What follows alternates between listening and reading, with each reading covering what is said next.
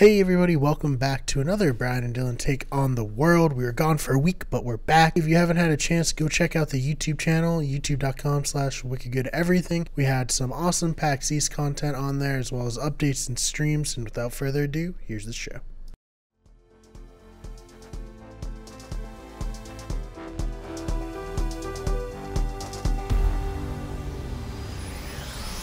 Welcome back to Brian and Dylan Take on the World. We are back from our little one week hiatus. We took a little And- vacation, you know. Yes, I went down to Cancun, and by Cancun, I sat in my living room all day. Yeah, well, it was the Masters, right? Yes, and How I did that go? No, not, great. good. No, sorry. Tiger. Tiger was not good. So Uh, sad. No, we've been kind of we've been kind of revamping and gearing up for what's going to be a pretty busy next couple of weeks. Yes, so- Avengers. we thought it would we would take the time to spend with our families before we don't see them at all for the next like two months. Right. And uh, yeah, it was nice. It was nice. Mhm. Um, and I, I I said my farewells to them like ten minutes ago, and I said you know see you in like July. Yeah. See, when when all these movies are done coming out, then uh, we'll hang out again. The very obvious we have Avengers coming out in two weeks, but we have a very Avengers filled next two weeks, Mhm. and then after that we'll have Solo, Deadpool. And I believe there is things like the Ant Man and the Wasp comes Oh out this God, summer. so crazy. I believe. It's the summer, too. Um, Yeah, it's so this is gonna this is a pretty exciting time, and we're having a few video games coming out um, shortly as well that we can talk about. Yeah, So- one we're going to talk about the reviews of very soon. Yes, so it's it's an exciting time, and uh, thank you for returning after a week. If if everyone didn't forget about us, Yes. people are probably gonna open up their iTunes today and be like, "Oh yeah, I forgot that was a thing." oh yeah, this automatically downloads. All right. Yes, I guess and I'll listen to it. When, I if to did, mention. thank you. I, I forgot to mention that I very dearly missed your voice, Brian. It's nice to talk to you again. You as well. I'm sorry the Masters didn't go as well as you were hoping. It's okay. You know, maybe next year. I don't. I don't know. It's okay. How it's I- gonna be. I've been enjoying playoff hockey and um, baseball, so I'll survive. Yeah, I'm. I'm gonna try to be more engaged in hockey this this playoff. Bruins are looking pretty damn good. I went to the Bruins last Sunday. Oh, nice. Um, it was good. They lost, but it was an exciting game. yep. And then when I was leaving, two drunk guys got into a fight, which was really exciting because there were no fights during the game. Which honestly, I came expecting fights to be happening during the game. So a drunken, really poorly like choreographed brawl outside of the bathrooms was just just what it took to make the night. You know? Did anybody die?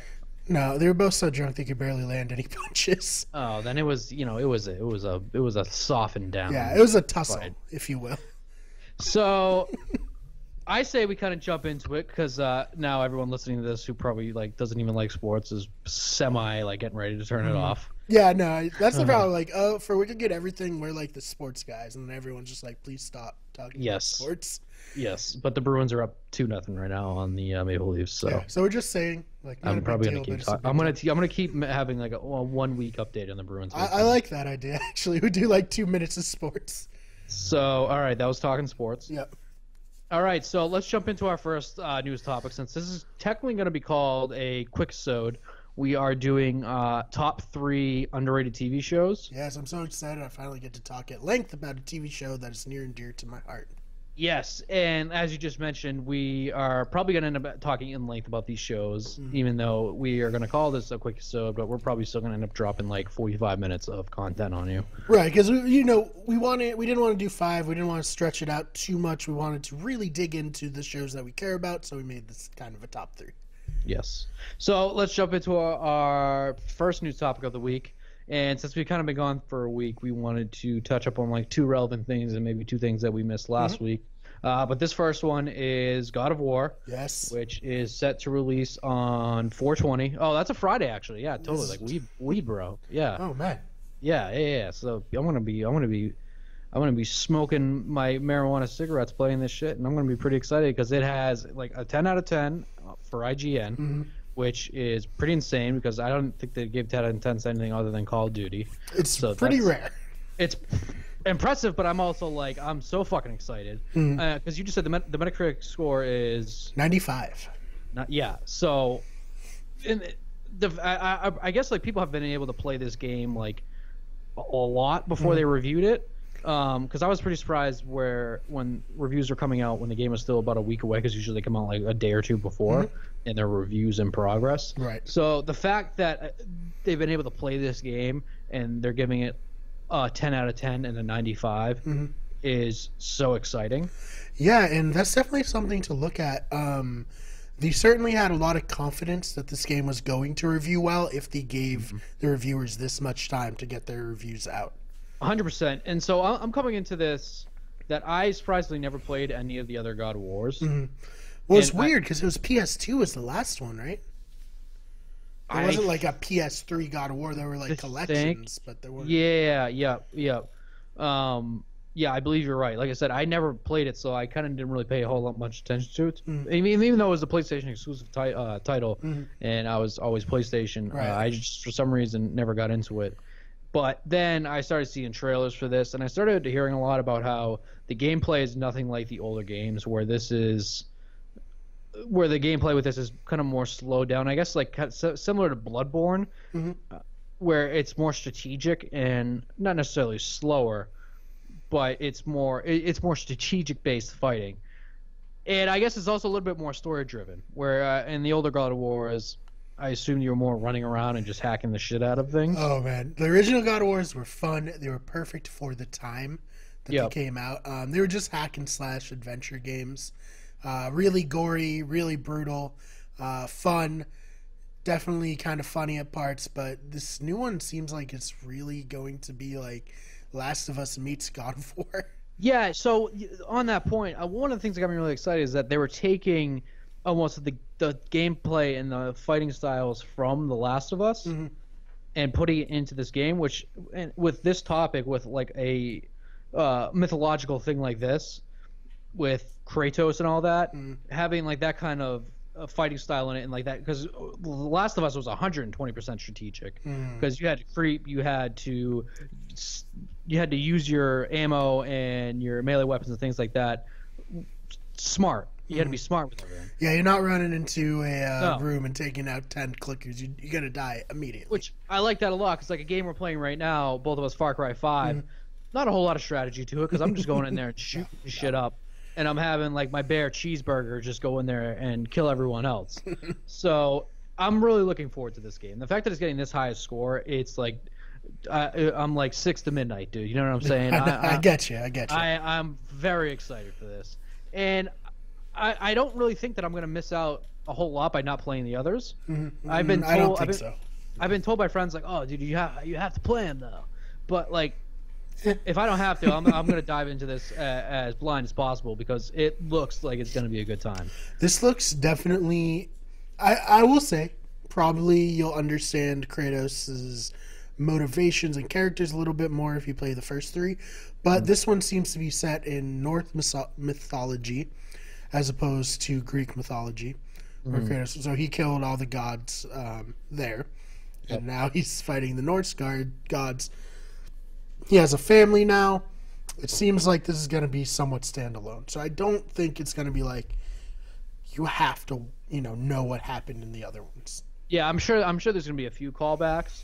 Uh, w- one thing I haven't been able to check out yet is I guess IGN did a really really well done recap of all the other games to lead you into this. Yeah, so, So, may I'll as well pro- just check that out. I'm Yeah. probably just gonna check that out and then jump right into this. I'm I'm very very excited. Hmm. This is the kind of game where if I didn't have GameFly, I'd probably just buy it the day of. right.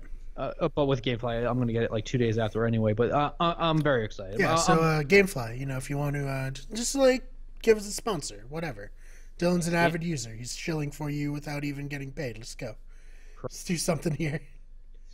please like give me like a free month or something. At least.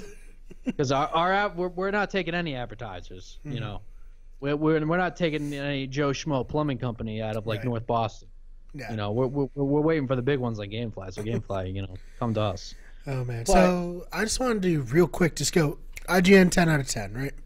yes Eurogamer 10 out of 10. Polygon 10 out of 10. These are hundreds. I don't know if those are 10 out of 10s. Digital Chumps also 100. PlayStation Universe 95. PlayStation All 92. Metro Gamer 9 out of 10. This is crazy. I I was concerned. I didn't know how it was going to transfer, and it's looked like that uh, they've knocked this one right out of the po- park. Uh, Sony Uh, Santa Monica. I'm also a little nervous because when you give something a 10 out of 10, you're saying it's perfect. Right.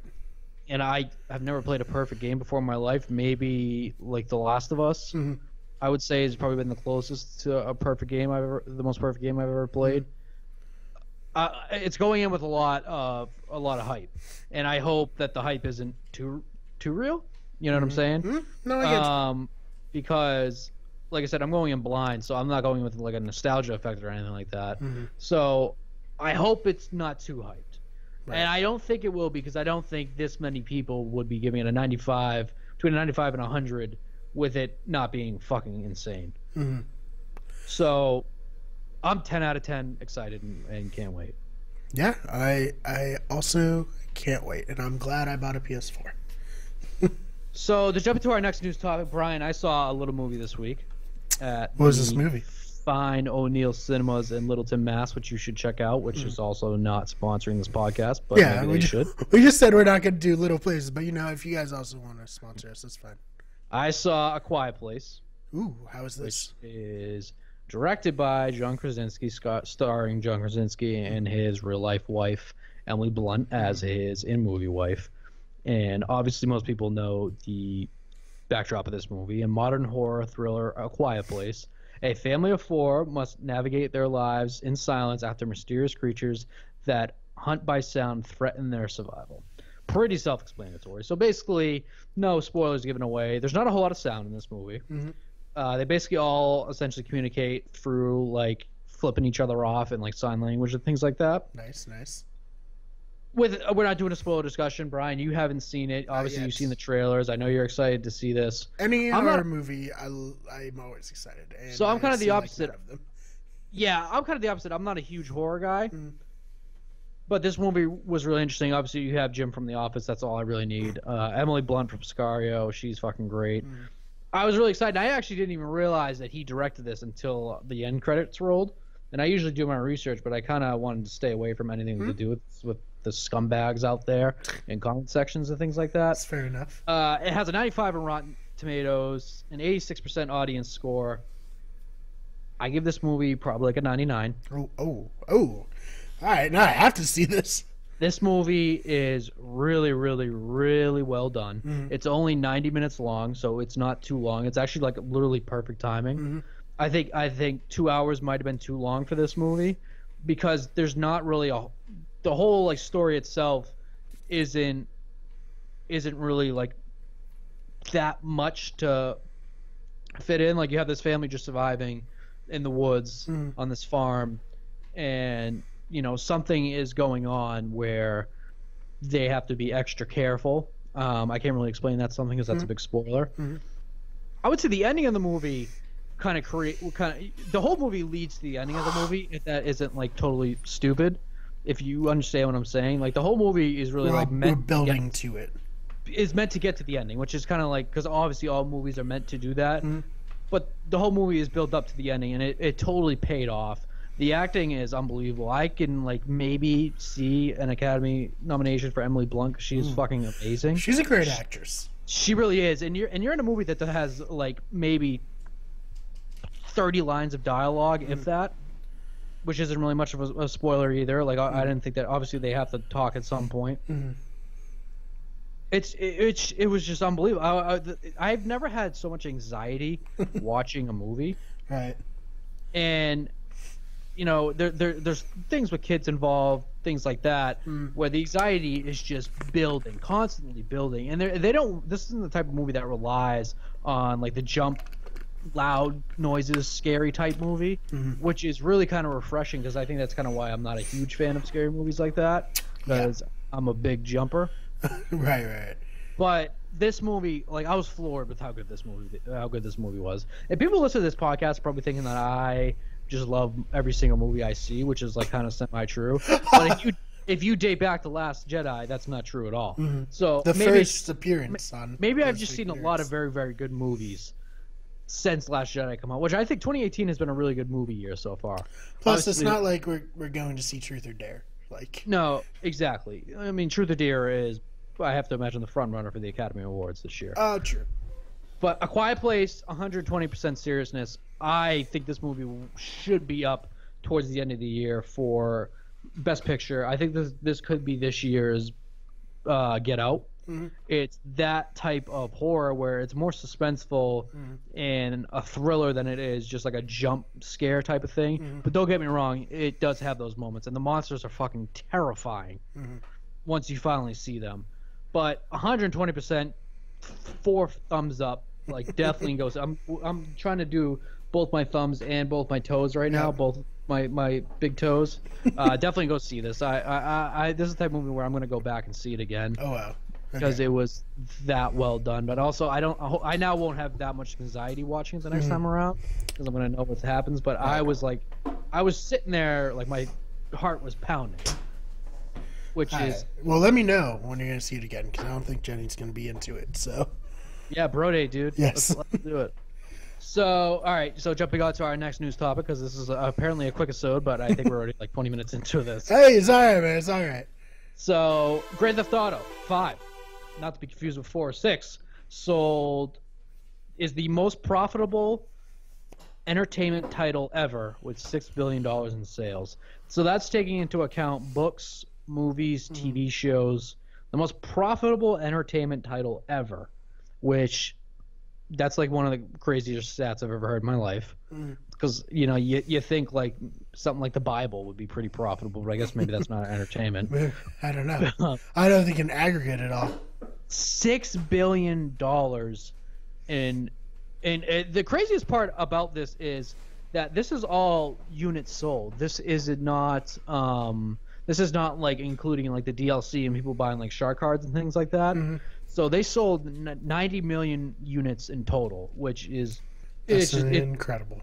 it's like an it's remarkable really is the, the way to put it it's it's i i didn't think that was possible for Mhm. anything to sell 90 million things Mhm. uh, like i don't think there's ever been 90 million things sold in the world and the G, the gta that was closest to getting to this was san andreas which only sold 27 million units Right.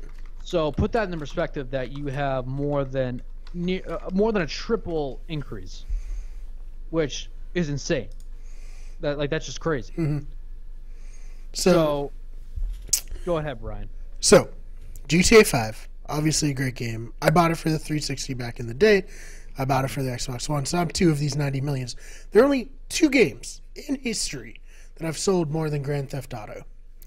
So that is Minecraft, um, which kind of makes sense. Uh, it has 144,000 um, units sold.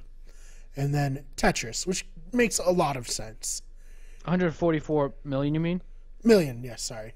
Okay, I was gonna say that's not that much. 144,000. So killed it. Now, um, 144 million for Minecraft, 170 million for Tetris.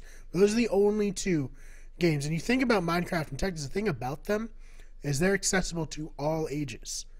Grand Theft Auto, it's a mature game. It's uh, Yep. you know, obviously there are people getting it who are younger, but generally it's mostly adults playing these games. Teenagers to 100%. adults. yeah, no, you like you have some sinners out there playing this before they're they're 17. Right, But right. I yeah no. Not that we ever played any GTA games I, before we I uh, no, I was like 10 years old playing GTA 3, like beating up prostitutes. I I'll tell I tell the story all the time. I was like essentially a pimp in the streets.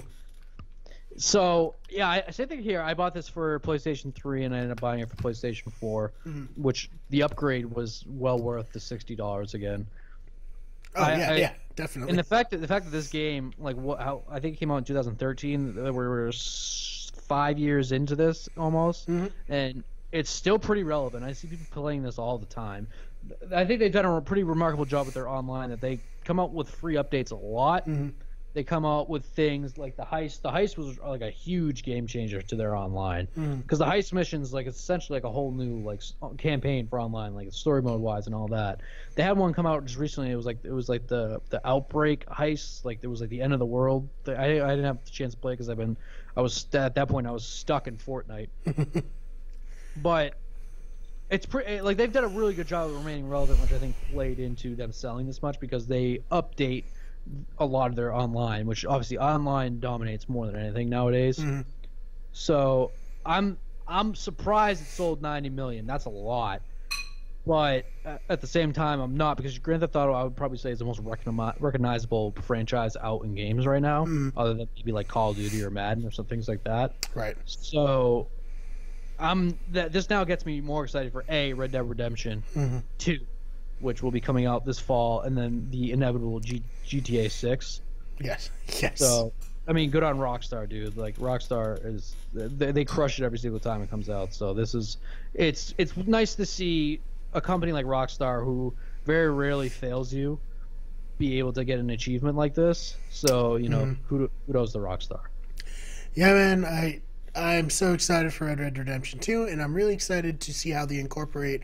Um, you know, they have GTA Online, which is obviously, like you said, one of the main reasons this has stayed so relevant over the years, and I can't wait to see what they do for Red Dead Redemption 2 in that aspect. No, yeah, because I, remember uh, Red Dead Redemption's online uh, for PS3. Mhm. It was fun. It was fun. Nothing like Grand Theft Auto 5 online. Obviously, told two totally different games, but I that I, I'm very excited to see what Red Dead Redemption 2 is going to be like for multiplayer with the big jump they took with GTA 5. Yeah, it's. I mean, I gotta I gotta do it, Dylan. Every episode, it's gonna be like Westworld Online. Oh Jesus! Still have not. I'm running out of days. It's like uh, the clock is ticking down, and Mhm. I, I, every time I check the clock, I get a little more nervous. this is too much good entertainment out there. I think it comes out. Oh, I think it comes out like the. uh Twenty seventh. I think it's later than that. I think it's the 29th or something like that. Yeah, Yeah, 29th. 29th would be a Sunday.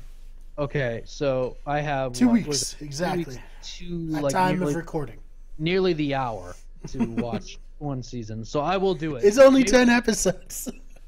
maybe by the time we we record our our Avengers preview, I will have seen the whole Okay. season. So we get a little discussion. Ah, that'd be very fun. All right, to jump into our final news category, which we will be very quick with because this quick episode is now turning into the longest episode ever. we have Game of Thrones, who it's nice to be able to finally talk Game of Thrones because we really haven't had the chance to, and because it's going to be like four years in between season seven and season eight. Game of Thrones shot a battle scene that took 55 days. Yeah, it, that's crazy.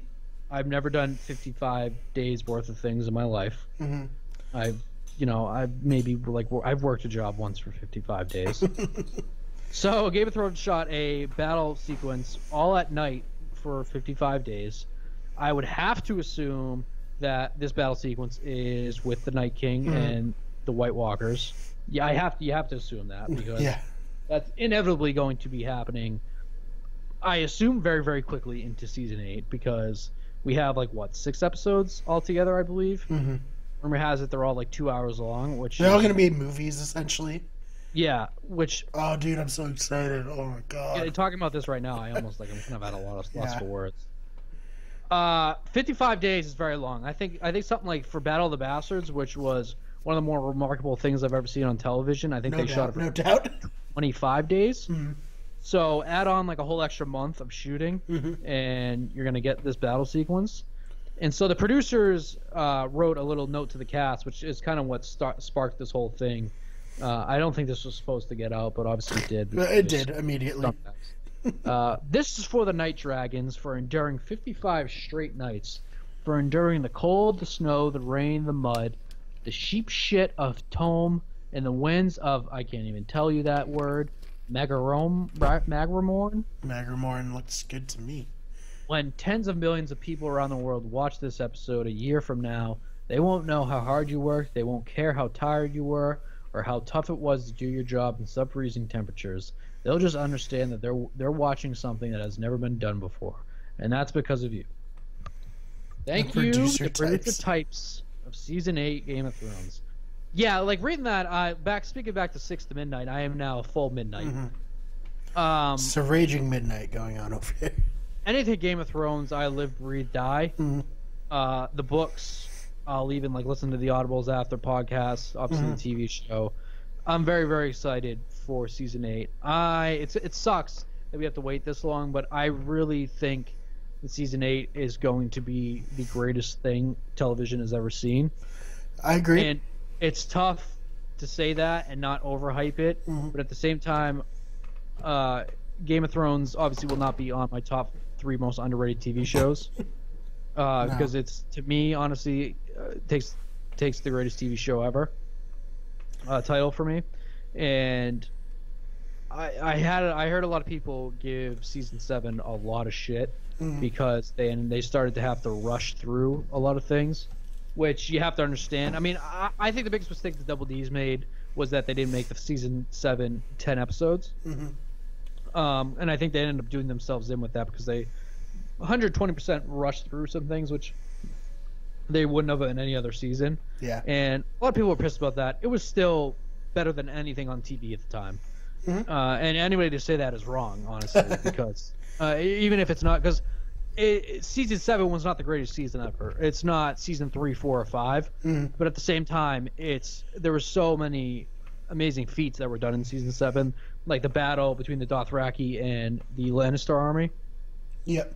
Um, so the fact that they're taking 55 nights to shoot a battle sequence, which will probably mm, may might not be a whole entire episode, but it'll probably be like 40 minutes worth of of battle. Yeah, they'll have Which- some like scenes of okay, this is about to happen. Let's have like some last character moments for the characters who are presumably going to die. And like I said, I would have to assume that this is the battle with the night with the Night King and the Night Mhm. Walkers, and I would have to assume that that's going to happen pretty quickly into the season Mhm. because they went through Eastwatch by or Eastwatch by the Sea, and that's like pretty damn close to Winterfell. Uh, yeah. So it's got to be happening right away. So I think we're going to see this relatively soon, maybe like second or third episode into the season. Mhm. But I can't wait. And the, this little note right here is like is like Game of Thrones porn, and not like not like the parody porn. I'm Mhm. talking. I just mean like like music to my ears type Right. porn. Uh, this is the, I- I'm very very excited, and this is kind of building the hype train. I'm I like. Part of me has always been hoping that they're just gonna surprise me, like, "Hey, it's coming back in summer this summer," but it's not. It's coming back spring 2019, which Yeah, I mean, in fairness, editing this one battle uh, is going to be um, a lot. Yeah, no, this is not like this is not like a quick like like couple hours type thing. Uh, this is like the the editing for what I'm this alone, like you said, but the entire season is going to be a bitch. Um, Yeah, so I- shout out to the crew and shout out to the editors and all the people who you don't think about because, goddamn. Yeah. so Game of Thrones season eight, 55 night battle, pretty long. Can't wait. Mm. So all right, let's jump. Let's uh, take a quick break, Yep. and when we return, we'll be doing our quick episode, which is now turned into the long episode, our top three most underrated TV shows. All right, let's do it.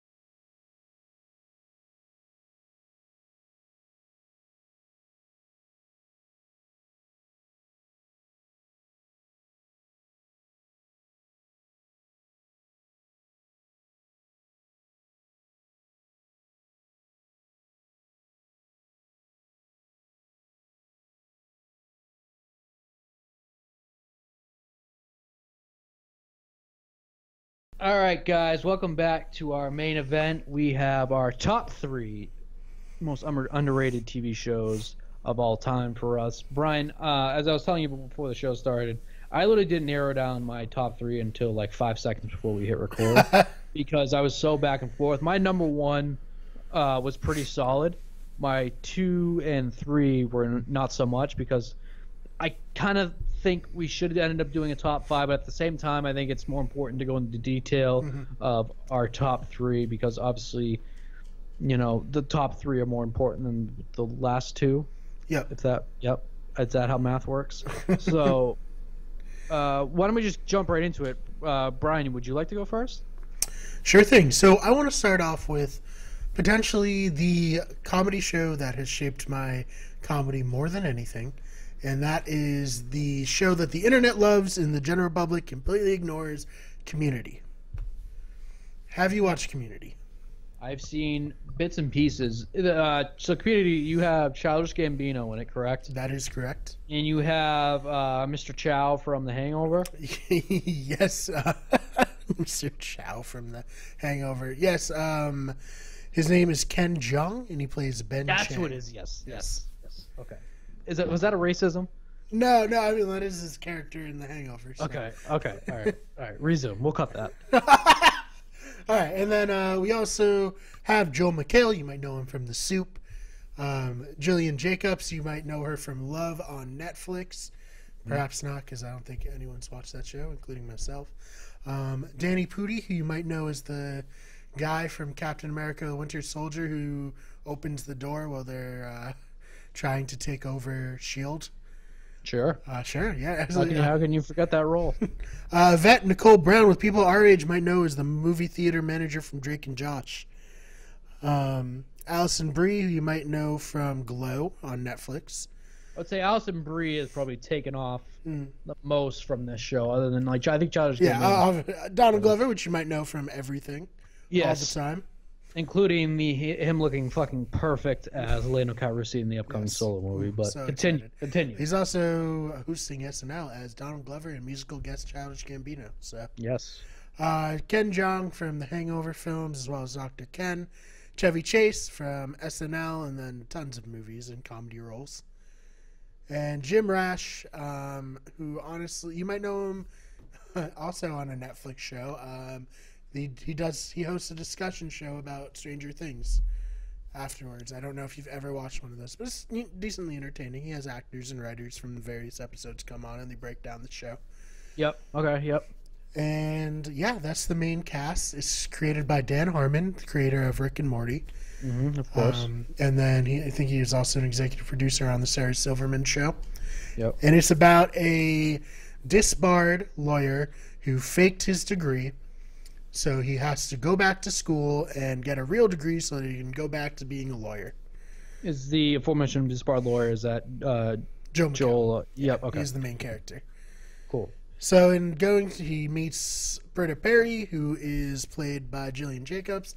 He wants to sleep with her, so he starts a fake study group for Spanish class, and then she thinks it's a real study group, so she invites all the other characters, and then it's just them, you know, becoming a quote unquote community while going to community college and becoming almost like a pseudo family, and it's just a really great smart show.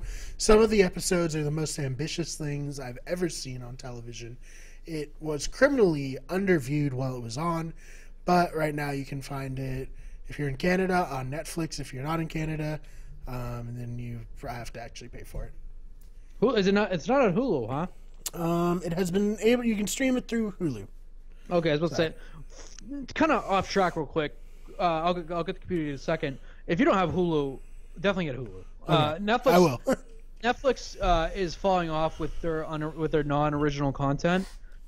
Everything is on Hulu uh, Gotcha. now, uh, and it's like everything you miss, like a Family Guy or a Always Sunny, is up the, the day after. Mhm. So another free advertisement we're kind of just giving out, but I guess it kind of sounds like we're sponsoring Hulu.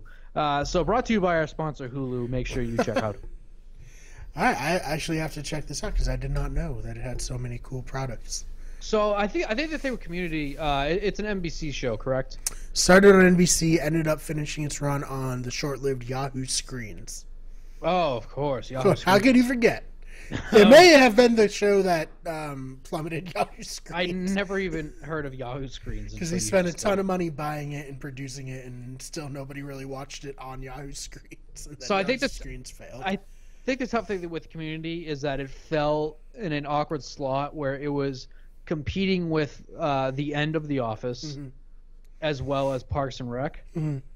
So I think that's maybe why it didn't get the recognition it deserved. Right. But like with the cast you named, it's the kind of show that I've always wanted to check out, but I just never have. I guess Please that makes do, man. Treat yourself. And I, I guess that's kind of like, I guess that kind of like sums up like underrated because Mm-hmm. it's, I, I I mean it doesn't get the uh, recognition it's it deserves because it was going up against those two, which are Mhm. two of the best comedy television comedies ever. Dude, Um, Thursday nights on NBC used to be lit. It was The Office, 30 Rock, Community, and Parks and Rec all in a row. Yep. Unbelievable night. Yeah, I totally forgot about Parks and Rec too. Yeah. All right, so to jump into my number three, I have a little show that probably none of you have heard about, but you have probably seen on Netflix called The Last Kingdom. Ooh, tell me about this. So The Last Kingdom, honestly, is like a more realistic uh, version of Vikings Mhm. on History Channel, and a less magical, less like sexy Game of Thrones. Okay. So, the Last Kingdom takes place in the year 872. Okay. Uh, as many of the uh, kingdoms in England have fallen to the Danes, but I'm, I'm going to call the Danes the Vikings because that's who they are. Mhm. Uh, leaving the final kingdom of Wessex standing alone and defiant under the under the command of King Alfred. And basically, it just the, the show kicks off right away, where uh, this uh, the kingdom's under siege immediately from the Vikings. Uh, it's pretty brutal. I would say it's pretty realistic fighting once it starts happening. Mhm. Uh, and in the end, it ends up following a character, a man named Uhtred, who was born a Saxon and was end up raised by the Vikings. Mhm. And it basically like surrounds him, kind of battling that, the fact that he is, lo- I guess, loyal to the Saxons, uh, loyal to the Vikings, but at the same time recognizes his birth as a Saxon. Mhm. And it's two seasons long, eight episodes each. Was it eight episodes each? Uh, I, know, I definitely know that season two was eight episodes. Yeah. It's not very long at all. Uh, season two actually just came out last summer, so it's still relatively, uh, relatively um, relevant. Is Uh, it an that's- that's ongoing show? So I think that it's done. Uh, Mm-hmm. I I don't think there's any more episodes coming out. I could be Gotcha. wrong Yeah. because it's a ty- it's like a BBC show. So there was like two years in between Mm. season one and season So two. maybe in a few years we get a season Which, three. yeah, it's really tough with BBC shows because you never really know, like, a what Netflix has bought and if they bought in the sh- like the, the the entire rights to the show or just the right to showing the show. Mhm. Um, but I really recommend it. It's a really easy watch. The only problem I've had with it is sometimes it gets really slow, Mhm. but at the same time, in terms of like scenes, there's sometimes a lot of slow scenes, Mhm. but at the same time, the pacing of the show, like we've like we've jumped maybe like 10 years in between two seasons. Mhm. So the show paces rather quickly. Right. It doesn't it doesn't affect the show for me at all. Uh, but like I said, I, I really enjoyed the, the the the subject with everything. It was really realistic. I never really got into Vikings on on the History History, Channel. Channel. I have a it's like the History Channel. Like I'm I I don't really want to go to the History Channel like a dramatic television show, but I It's fair enough. things. Yeah. But I like The Last Kingdom a lot, and it's it's top three for me because never heard anybody else talk about it before. Anybody Mhm. I've known at least. Uh, like the Reddit forums are pretty big on this show, Okay. Yeah. but I 120% re- recommend people to check it out, especially Game of Thrones fans, especially Mm-hmm. maybe if you're Vikings fans, Lord of the Rings fans. So maybe it's very- something to hold us out till the next season of Game of Thrones. Hundred percent. It's like I said, it's a quick watch. There's not that many episodes, but it's the production's very, very well done. The acting's very well done. Mm. The action's very well done, and the overall story is interesting to me. And like I said, it paces pretty well. It paces quickly. You don't feel like you've been cheated on some things. Mm. I guess these this is actually a book series, which I never even heard of the book series until uh, I saw the show first, which Mhm. is kind of different than most. Um, but I heard the book series is very very good, and to the point where maybe I'll check out the book series because typical like book people are like, oh, you like the book was so It's much gonna better. be better. Yep. Yep. I But. Last Kingdom seasons one and two, particularly season one, very very good television that I've never heard anybody talk about, uh, and definitely I think it deserves uh, top three treatment. So that is number three for me, The Last Kingdom. Awesome. All right, so my number two is the 4400. So this is a show that was on USA. It ran from 2004 to 2007. Uh, it is a science fiction television series produced by CBS Paramount in association with B Sky B Renegade 83. It, in the pilot episode, an enormous ball of light deposits a group of exactly 4,400 people in the Cascade Range foothills near Mount Rainier, Washington. Each of the 4,400 had disappeared in a beam of white light at various times starting in 1938. None of the 4,400 have aged from the time of their disappearance. They're confused, disoriented, and they remember nothing between the time of their disappearance and their return. So, this is a show that's at a kind of awkward time for television. Um, it's it was airing right alongside Lost, which is another kind of like big concept, important show to the history of TV. Really kind of showed that there can be prestige drama on TV. So the budget is low and it's a little tough to watch when you compare it to current day TV shows. But the story is really interesting. You know, it's the kind of take on alien abduction. There's very cool characters. Basically, the two main characters are partners, kind of uh, keeping a watch over the 4400, helping them reintegrate into society. Each episode for like the first three season focus on one member of the 4400 in particularly and something that's weird or you know what they're doing. And then there's obviously an overall like kind of influencing force um, that's maybe up to no good. And I love the show. I believe it's still on Netflix. You can watch it there. Uh, like I said, it's a little rough, but I think it's really good. It's a show I have seen. Mm. Uh, not that I haven't, I haven't like watched it. It's a show I've seen around. Mm. I remember, I remember seeing it on uh, USA, like the trailers for stuff and things like that. Yeah. It seems like a really intriguing concept to me. But like you said, going up against Lost, especially back in that television time, it was basically like everybody was watching the same thing. Yeah, yeah. Um, and it wasn't the 4400, which is why it only got 44 episodes. no, no.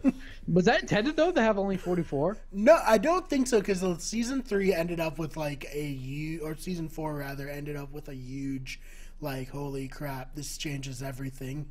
Here's the next chapter of the story, and then I was like, all right, it's canceled. Bye. Gotcha.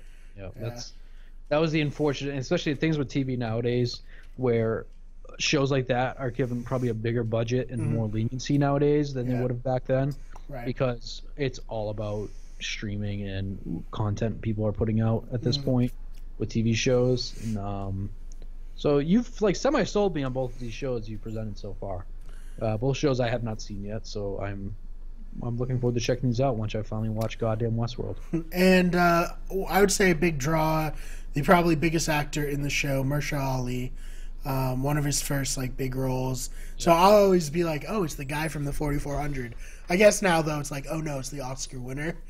Glad I'm glad you brought that up because I thought I was misremembering him being in this, but yeah, Mahershala Ali, um, one of my favorite actors out in Hollywood right now, mm. but is also the star of True Detective season three. Oh, so so hype. Yes. Um, so the 4400, Brian's number two. My number two which was the one I had the most conflict with because I'm not really sure if it's underrated, but I personally feel it is. It's a show that got 10 seasons, 217 episodes, so it is definitely not a short lived television show. Uh, that would be the formerly WB, now CW's Smallville. Okay, which yeah, yeah.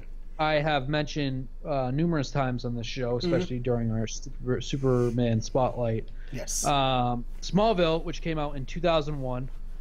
Actually, it was funny. The show ended up being pushed back because its original release date was on 9/11. Ooh, right, yeah. So the day it was going to air, it did not, and so it was pushed back. And I actually remember seeing this live uh, with my dad. This was one of the first shows I ever watched religiously, week by mm. week. Um, obviously, this was back before streaming, binging, things like that. I right. actually remember. I remember watching the season through two finale of this show recorded on a VHS tape, which shows like change in times. So but this is uh, this is one of the first shows I ever really got into. 2001, I was eight years old. Mm-hmm. So an eight year old, obviously, you don't have many like shows you're watching week week by week. Mm-hmm. Smallville blew me away. Uh, it's what really got me into the whole superhero uh, fascination. Mm-hmm.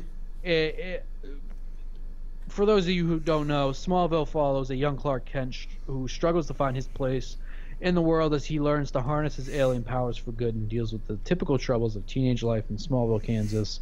So it's both like a coming of age story. Well, it's like a, literally a coming of age story, as well as a Superman story, as well as there's a shitload of romance. Mm. There's a whole bunch of drama. Smallville for me, I think that if it came out nowadays, had a bigger budget, had the ability to be streamed, mm. I think this would be one of the biggest shows on television right now. Right. I think that it, it blows Arrow, Flash. Yeah, that was actually gonna be my next question. How does it compare? Out of the water, it it, it doesn't compare to me. To be honest with you, right. I, and I think the the Arrow and Flash are very very good. But uh, with Smallville, it has my favorite portrayals of almost every single character. I think Tom Welling as Clark Kent slash Superman, and at one point in the show he ends up going by the Blur. Uh, Mm-hmm. as he's my favorite Clark Kent and Superman so far, and I really like Oh Henry wow, right. yeah. Uh, we have Michael Rosenbaum, who is far and away the best Lex Luthor ever portrayed on television. Mm. Uh, Erica Durance as Lois Lane, who very, very slimly takes my favorite Lois Lane. Uh, Right. she doesn't come until season four. Gotcha. Um, but she ends up becoming a prime part of the show. Uh, Annette O'Toole as Martha Kent, who actually ended up playing Lana Lang in the third Superman movie back in the 80s. Mhm. So she has a little bit of, uh, of a Superman History. uh, what's history to Yeah. her. And John Schneider as Jonathan Kent, who actually he was famous for the Dukes of Hazzard. Mhm. He was one of the the uh, the Duke boys, and he is definitely my favorite portrayal of Jonathan Kent as well. You eventually in this show get uh, the Green Arrow, who is played by uh, Justin Hartley, I believe is his last name, who is uh, very big right now because he's on This Is Us. Mhm. Uh, you get Aquaman, your boy. Oh, I love this actually- guy. Did you ever see Blue Mountain State? Oh, uh, yes, one of my favorite shows. So the guy that plays Thad in that Mm. uh, plays Aquaman in Smallville, Yes, and he actually does a very very good job. it's so good. Other other than Green. Arrow, other than Green Arrow, they're not series regulars. Mhm. Green Arrow eventually becomes a series regular, um, but you do get you get people like Jimmy Olsen, you get Supergirl at one point, you get General Zod, who the guy played who played General Zod, did very very well in this. You get Doomsday, Mhm. so you get it all. Uh, like I said, I, I'm putting on, on here as underrated because it only has a 7.5 on IMDb, Mhm. which I feel comes from its later days. Seasons like 7 through 10, its final through four seasons, aren't the best. But seasons 1 through 5, Mhm. and I guess you can even throw 6 in there, are some of the best things I've seen on TV. They went with the, especially back then, a really small budget. You, you think you're taking a superhero show, which superhero uh, materials back then, properties were not nearly what they were now. Like Mhm. 2001, you have, what do you have back then? Like I don't even think the first Spider-Man Yeah, movie maybe. X Men. I think you had X-Men, and that's about it. I think, Uh, like, yeah, other than the old superhero or Superman and Batman movies, yeah. Like, yeah, yeah, I think that was really about it. So I think this show was what really kicked off the superhero television Mhm. because once this was over, we didn't have a Marvel's Agent of Shield or anything like that. Once this was over, we uh, we got Arrow like two years later. Mhm. Totally different like TV universe too. Um, but if you haven't watched Smallville, I uh, 120% recommend it. It's it, it's campy in the first season, but it's not campy and cheesy to the point where you're like, oh, what the f- am I watching? Right, right. But then it really gets into like it gets dark at some points. It the, the they don't back down from being able to use a lot of things with Superman. Like they Mhm. don't back down from using things like General Zod. They don't back down from using things like Kryptonite and all that. right. Um, I think the most famous poster for Superman for this Smallville as well is Clark tied up in a cornfield with an S painted on his chest. Mm. Uh, I remember that actually being like the billboard that was shown around Right. when, when the show came out. Uh, so number two for me, Smallville. It's it's on Hulu the entire series. Uh, not to promote Hulu again. I, I I cannot say more good things about this show. Is it an hour long or half hour long series? hour long? so like cool. back then with all like the commercials, 44 like 40 minutes, yeah. yeah, about that. Uh, I can't give it number one because, like I said, it ended up getting 10 seasons, 217 episodes. Mhm. Like uh, passing 100 episodes is impressive for television. Right. Like getting the 217 is really impressive. I think that it like went two, three or four years too long. Mhm. I think they dragged out him eventually becoming Superman because the whole show eventually gets to not really much of a spoiler because that's kind of like the premise. It eventually gets to him finally becoming a man, kind of like kind of like uh, American Alien, Mhm. where the whole premise is the, the events of his life becoming Superman. This is like the show played out version of American Alien. Mhm. Um, I can't give it a number one because, like I said, I think it was too popular for the time. I think that a lot of people nowadays have probably heard of it but never seen it, uh, which is definitely why it's on this list. But I can't give it the number one spot. But I think it definitely deserves number two, and Mhm. uh, twenty percent go and watch it. Yeah. So my number one is my favorite show ever. I think it's a perfect TV show. Uh, it had really bad ratings. like a million people watched each episode, which is terrible. It was on HBO. It is The Leftovers.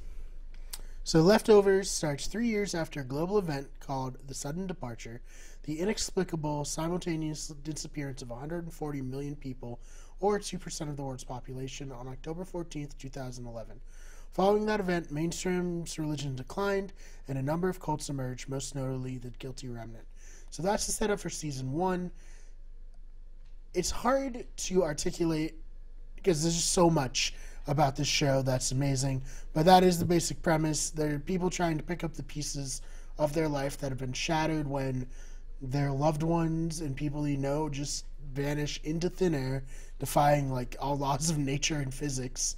Mm-hmm. And so it's kind of like an apocalypse show without the apocalypse.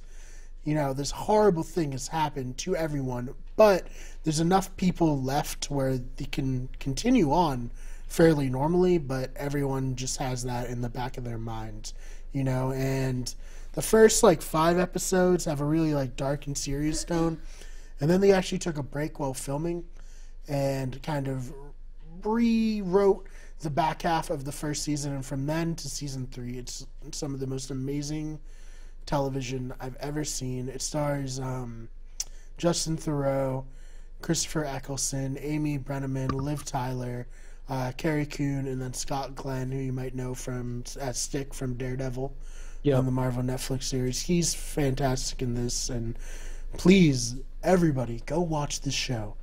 It's so good. So I'm glad you had this on there because I knew you were gonna have this on. Oh there. yeah, I've been waiting. Uh, this was my number three that I ended up booting last minute, knowing you were going to have it. Right, Not like because you told me, but I knew I like I pay attention to you, Brian. right. No, I You're my, appreciate you're my, it. you're my pal. Uh, I knew this was going to be on there. I didn't know it was going to be your number one. I'd assume so. Mm. Um, Leftovers, seasons two and three, mainly season two, Yeah. some of the best television I've witnessed. Mm. Um, the sh- like you said, the first season, it's good. It's slow. Mm. Really, they revolutionized themselves with season two. Yeah. Yeah, they Uh, have like it's something that about it that's very different from the first season that I don't want to go into, but yeah. One thing that you have to make clear: this is a really fucking depressing show. Yeah. this is a very very depressing show like you don't watch the show to be happy uh, one, one of the things that sold me with the show and the episode that really like pulled me in where i was kind of like i'm all in on this Mm. is when um, matt jamison you know that character i'm talking about who he was like the uh, the priest Christopher guy character. yes um, when he ended up taking all his uh, I, I don't want to spoil it for anybody Yeah, no, there's Uh, an episode that's like it's a Matt centric episode in season one. That's actually the same exact episode that made me go all in on the series too. was one of my favorite episodes of television I've seen. Um, that actor, he's got a little bit of a creepy way to him, but that episode itself, I think it's like halfway through season one, is one of, like I said, the best television episodes I've seen. Mm, Like top 20 TV episodes, I guess is where I can put it. It's very, very good. It's all based around him, which was nice because you had to take a break at this point in the show from revolving it around everyone else. Yep. And he was a character in the show I did not like up until that episode. He's not very likable No, up until that. He's uh, Um, I believe it's called the Book of Matt. Yes. that episode. 100, 100 you're 120 percent because I, I remember that episode totally. title. Yes, that was the episode that sold me with this. I was all in it after this at this point. Um, it jumps around a lot too, uh, as I believe you mentioned. Hmm. Like season seasons one and two uh, take place in entirely different places. Yep. As season three, um, it is produced by Damon Lindelof, which I'm not sure if you mentioned, who Not uh, obviously uh, wrote and produced Lost. Mhm, a lot Um, of it, yeah. It ha- and like it has a lot of like lost-ish type Mm. like just un, un like realistic spiritual things happening to it Yeah, I would. uh, the way I describe it is, it's the spiritual successor to Lost. It's the next chapter of Lost. that's very fair this is yeah that that's that's like a fair thing to say Mm. it only has an 8.2 on imdb which Right. i'm actually surprised it's that high Mm.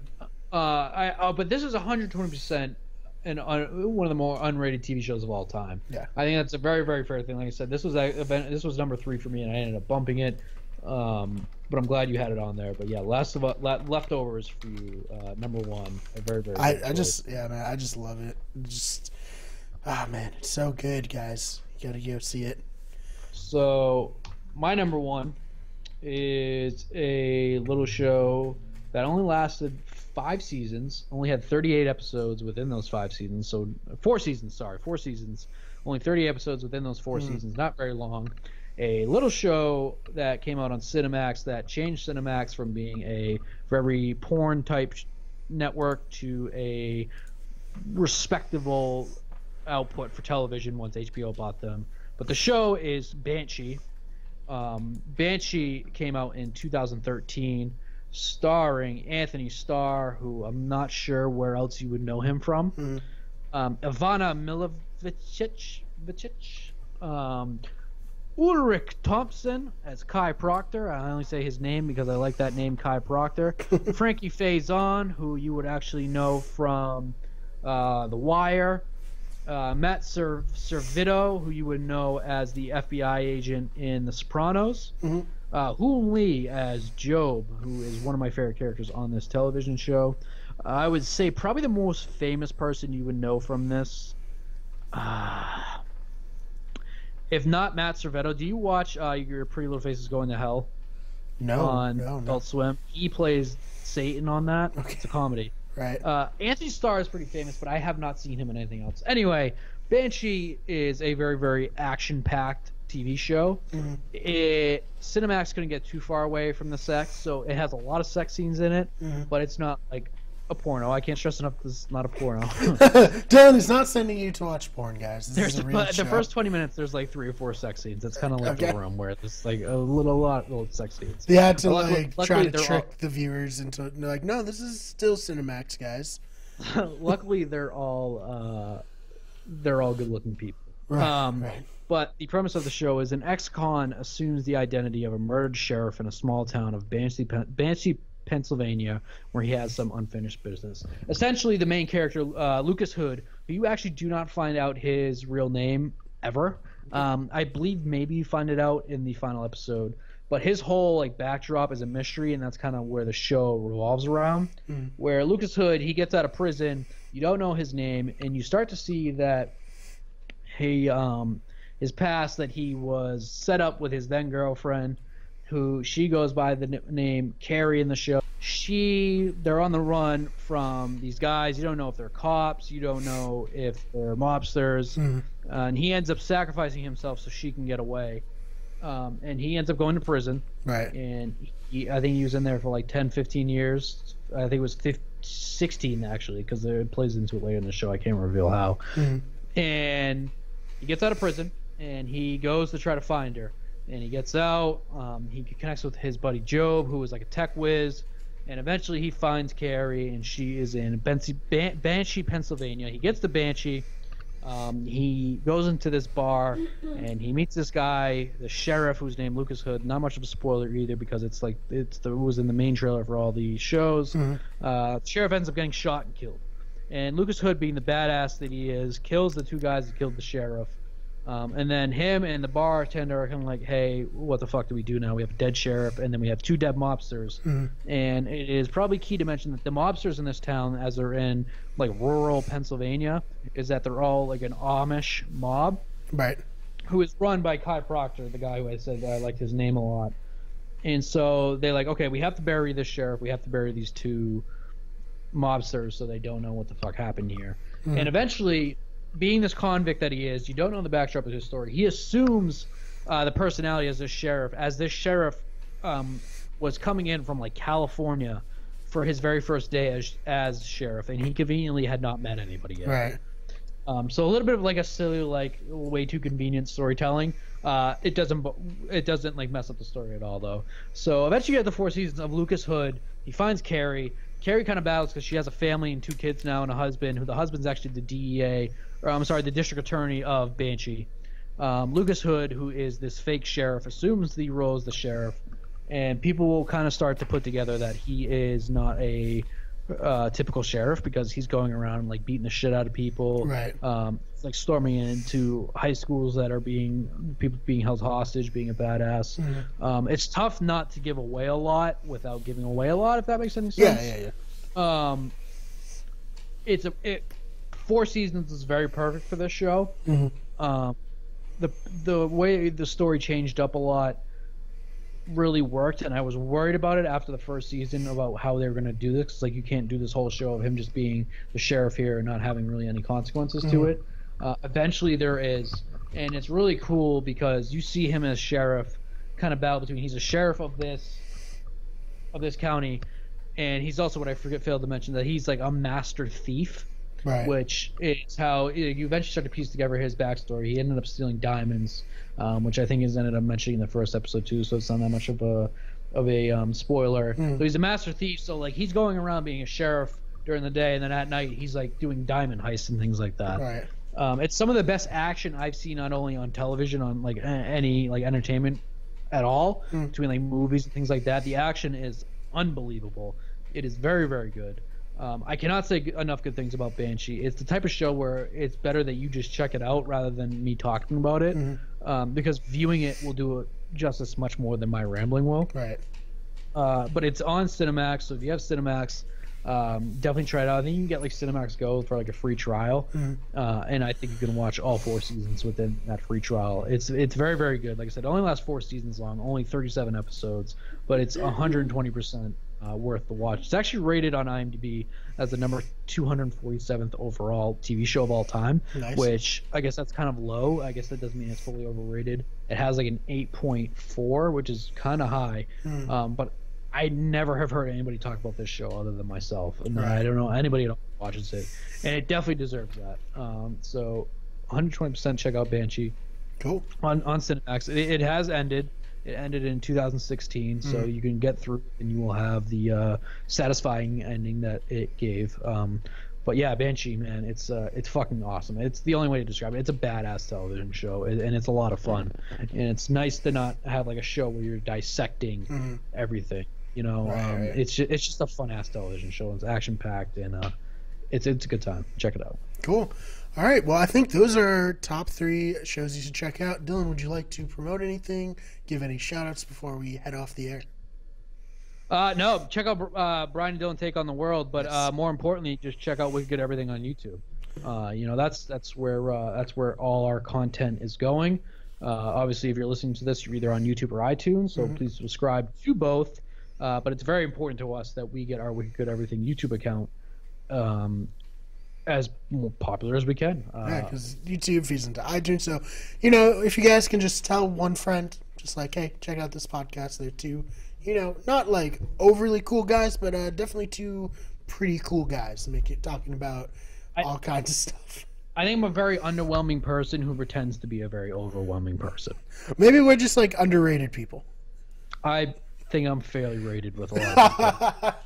oh, Brian, I think man. I think you're an underrated guy though, Brian. You're you're top five underrated guy people. Oh, jeez.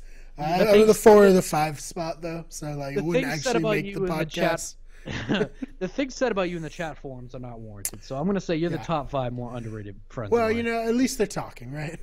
uh, not nice things.